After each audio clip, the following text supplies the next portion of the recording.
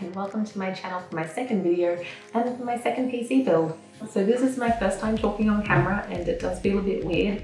About three months ago we moved from Australia to North Carolina and it seems we did so so that I could sit and watch videos on YouTube from Gamers Nexus and Bitwit and Jay's Two Cents and Paul and everybody to learn how to build a PC. Uh, our stuff is arriving tomorrow, which is very exciting. It does mean that it delays this build a little bit more than what I wanted. I wanted to get it done really quickly. Now, you might say, but Emma, you just did a build, and you would be right, I just did one. But then Lian Li had to come out with the special edition Space Gray Dynamic 011 case. Is it 011 or is it 011? So about three weeks ago, I built my first ever PC, which was in the Thermaltake P3 open air case. And I have to say I've been really pleased with it so far. It looks great and it's been running really well. It's not super high specs, it's the Ryzen 5 3600X CPU, an MSI X570 motherboard, and the MSI 1660 Super graphics card. We've been really happy with the PC so far.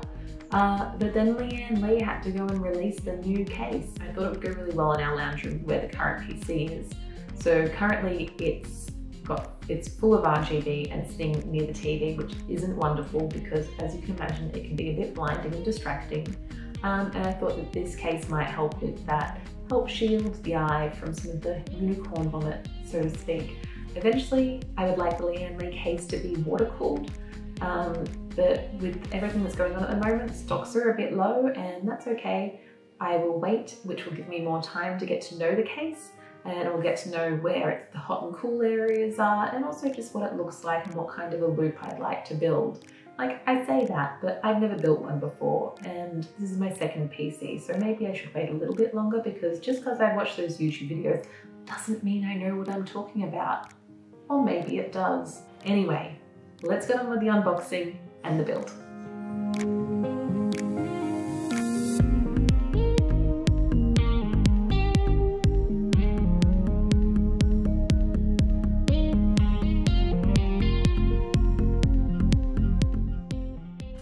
This is my room. As you can see, my stuff has arrived.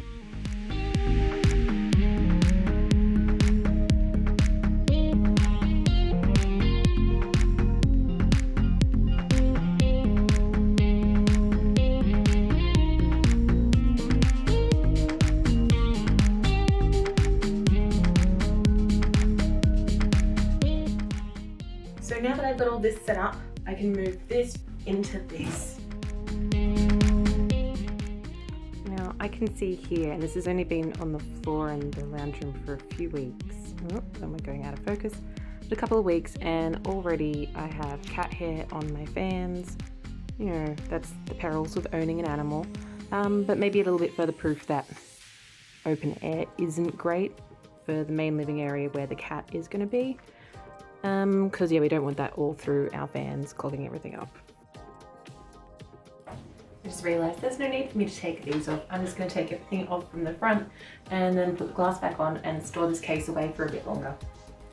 Unnecessary work.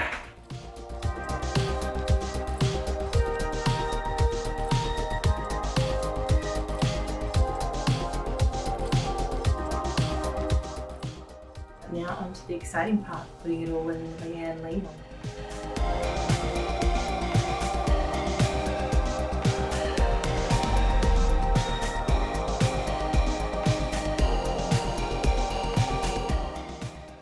Okay, so I got it out of the box. Wasn't easy, I'm sweating balls. My new room is a sauna, that's fine. Um, also noticing that you can now see the reflection of my whole messy room in in this mirror. Just ignore the boxes, ignore the mess. I made a nice space. Let's work with that. They don't come off. Now I know.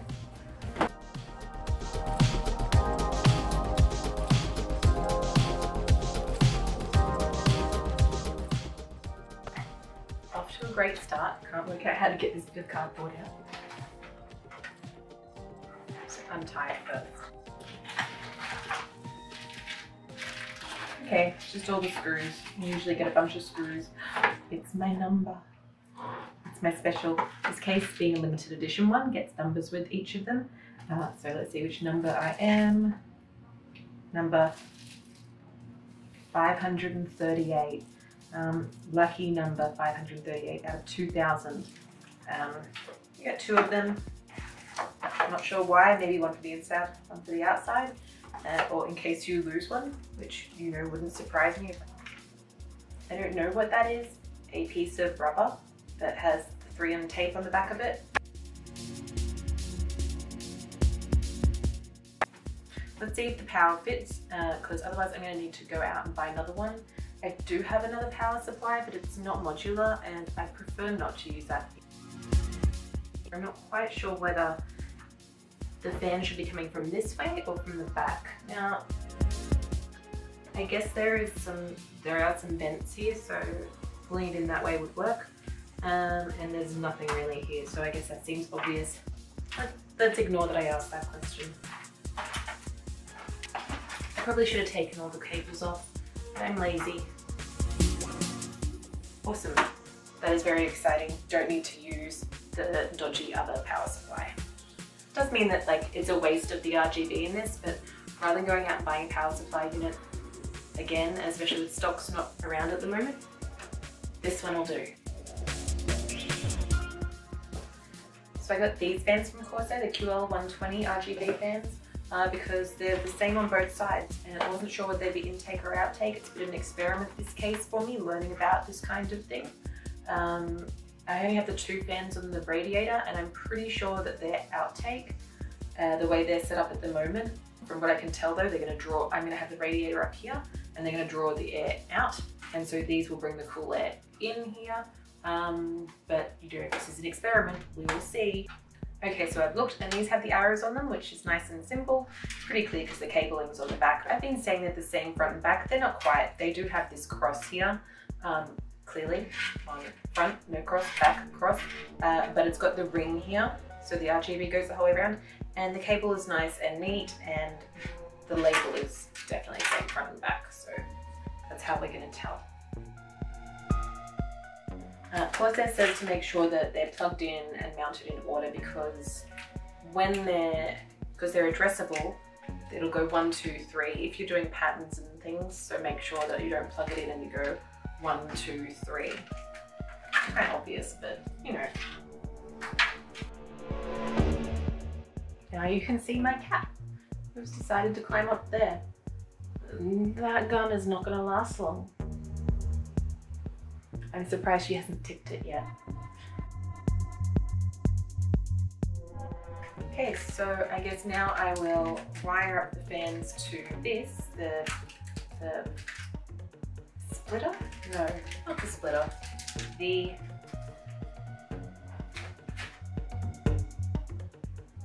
the thing, this thingy jig. So I will attach the fans to this in sequential order, um, wire that up, and then I think I'll put the motherboard in.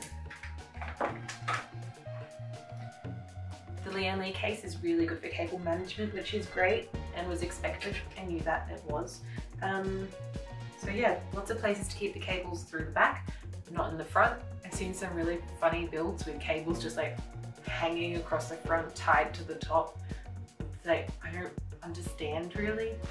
It's like, come on, just put it in the back You can't have it across the front of everything. Like, keep it neat. You know, I say that and you're looking at that rat's nest back there, just thinking, she has no idea what she's talking about. My cables are chaos. Well, I haven't plugged anything in yet and I haven't used all my cable ties. It might improve. It also might not. Hub, that's what it's called. RGB hub. RGB hub.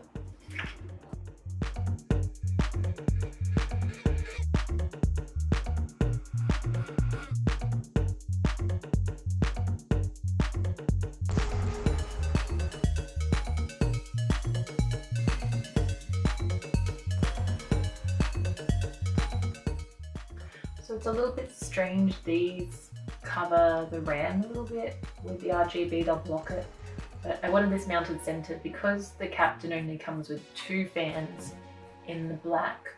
I didn't want it over to the side and then having a big hole here. So And these are really, they're pretty inflexible. So this is the way it's going to be for now. We'll see how it goes. I don't want any heat getting in there unnecessarily or anything like that. Um, maybe I'll move them over soon and once I water cool it, this will be taken out altogether anyway. Sometimes you need tweezers. I've seen the videos.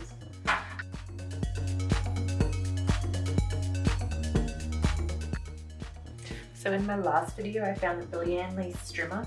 This part here just kept popping out. I'm hoping today it does not, it stays in, but the rubber, the bit with the LED, conducts through. It's kept popping out because of the tight turn. Makes sense.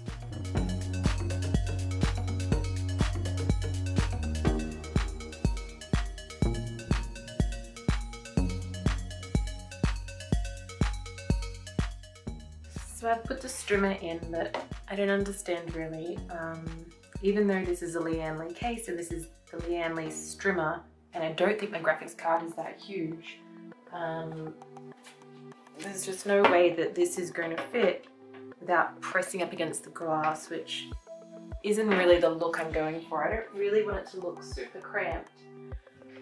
I don't know how I can change this except for take the Strimer out and just go with normal cabling for now and maybe have a look into it and see if I can change that and get it to fit.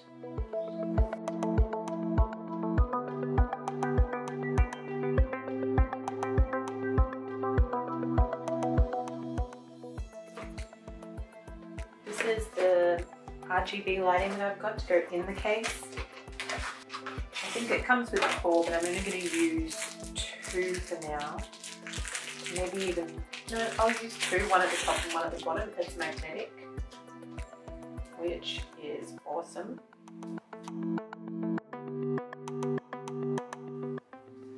Sticker in there as well. I think I'm going to try and use the magnets for now, see if that's strong enough. If not, switch over. I always prefer a magnet to stick because, I don't know, it's more temporary. I can move it around if I want.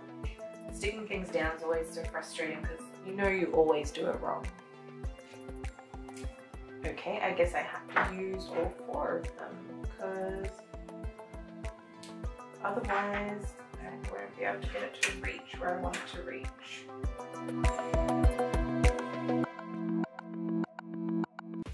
Oh, I see now that there's extenders. I could have just used two, but hey, I've put four in now, might as well go with it. Okay, so I think I have everything hooked up at this moment. And since it's like nine o'clock at night and I haven't eaten dinner yet, I am going to try and turn it on, see if it all lights up, and then later on deal with this because it's too late and I'm too hungry. As long as it doesn't short out or anything, like I think we're fine. Yeah. Let's start. and the big test. I just looked at my power switch header and I had put that on wrong. Okay, let's try that again.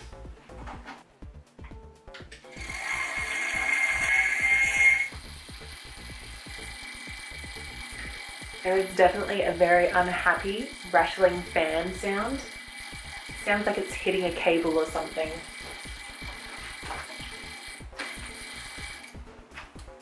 Okay, I worked it out. That was easy.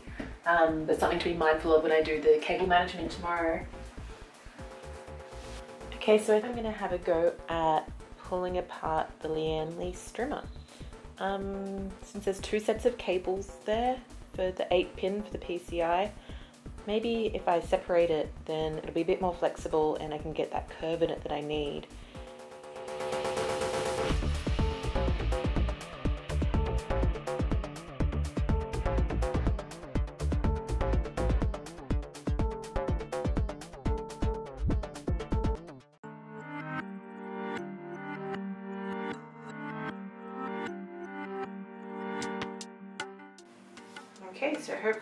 Will work.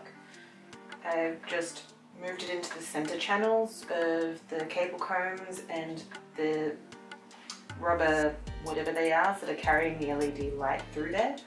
Um, it does seem a little more flexible. Um, but yeah, we'll give it a go and see whether that helps at all. I am noticing it's a little messier, but maybe if I can make it, at least at the front, look neat. If not, put it back together again and go back to just the plain. Well, I could actually use the white cable by itself maybe, just like this one.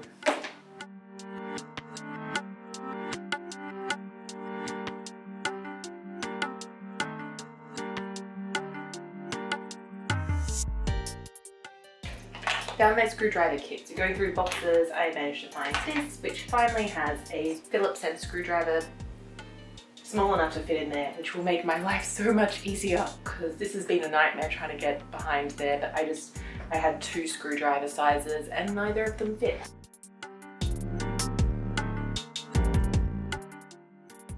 Okay, so this is the big test. Just before I put the glass on, cover the back, do all that stuff. Is it gonna post? It should, it ran before. I've just moved everything over, so it should still be pretty much exactly the same as what it was back in the Thermaltake machine. It's taking a bit longer than I'd like.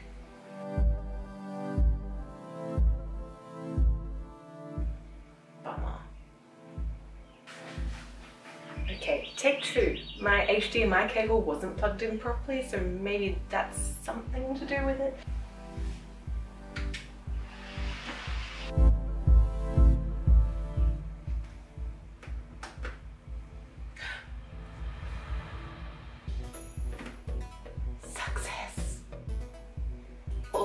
Make sure your cables are plugged in and things are turned on.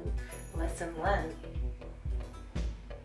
So I'm really happy that that worked because I did do cable management before I should have and that would have been really annoying to have to undo all those zip ties that I put in but this looks good.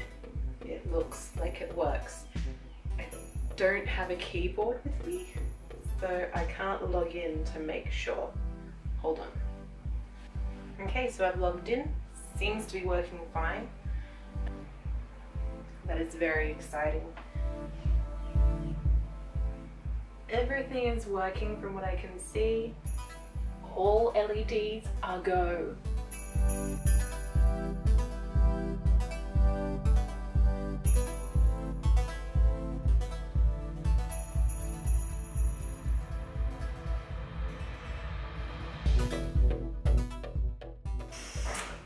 Annoying that you have to have three programs to program the lighting.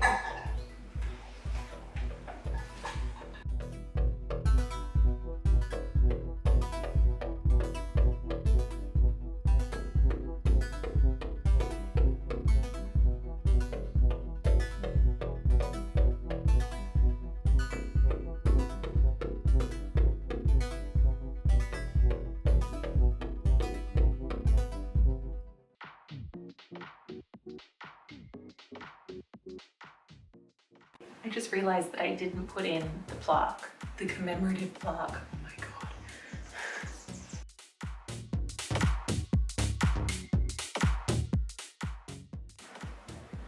Okay, so let's try that again. Now I have finished my build. I'm so happy with it. The mirror finish is amazing. Uh, I think it worked really well to tone down the RGBs a little bit. You might disagree because there is a lot of RGB in here, uh, but I think it's a little bit more streamlined. The color is more direct, not just one giant glow ball. Um, but I'm really happy with it. I can't wait to see it when it's dark without all the, the outside reflecting in on it and seeing how the RGB looks then. The only thing I had a lot of problems with was the Lian Li Strimer. Uh, if I had read the instructions, it might have helped. It wasn't working with the Mystic Light through the Dragon Center with the MSI, all the lighting programming there. Uh, but once you hold down one of the buttons on the remote for two seconds, it switches over from being remote control to Dragon Center. And so that, that was fixed once the instructions were read. Um, apart from that, also having to mod it so that it was an eight pin instead of two eight pins, because my, my graphics card only has one set. So I modded that and the cables are a little bit messy in the cable combs, but it's the best I could do with the way that it was. It's really tight to fit. I would have thought that Lian Li would designed it that it would fit through some of the cable management holes, but it barely fits. I had to pull it apart to get it through there and had, had to remove other cables that I had going through that hole and then put them in other ways that I would have preferred not to. But in the end, I've worked it out. These are the things you learn. Originally the Ballistix RAM, I bought that because I thought that I was going to be able to use that with Mystic Light. It doesn't really work with it. It just did, it kept freezing uh, in its patterns. So I'm running that on the Mod Center, running this in Mystic Light and through Dragon Center, and now running Corsair as well. So I might replace the RAM with Corsair just so I can at least take away one of those programs, just have two instead of three. Uh, apart from that though, I'm stoked. I think it looks great. The special edition case, I feel, I'm really happy that I got it. Worth a little bit extra money. I've got the cool little number plaque in there now that I've remembered to put it in. Um, but yeah, this build went really well. My next build will be my own gaming PC. I haven't had one before, I've always been a console gamer. I've played PlayStation since I was a teenager. Um, I've started playing some some PC games on this machine when it was back in the Thermaltake case and I've been having a lot of fun with it. So I want to get a gaming PC and we'll get that set up in our gaming room, which will be our next project. Thanks so much for watching. Subscribe if you want to see my next build. Follow me on Instagram if you want to see more of my other stuff like cosplay and things. Uh, it's Pixie La Luna, same as this channel name. And I will see you next time.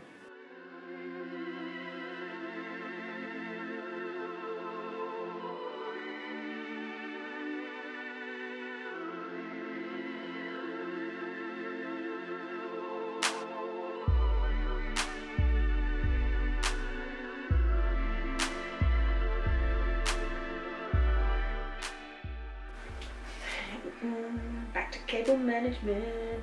Back to cable management.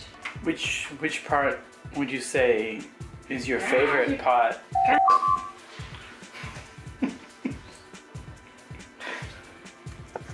which part would you say is your favorite part about cable management?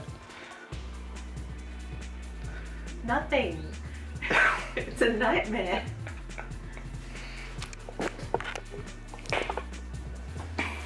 I'm really bad at it. You're not bad at it. You're just starting out at it. Nobody's really good at it. I don't know. I feel like I'm better than some of the YouTube videos I've seen.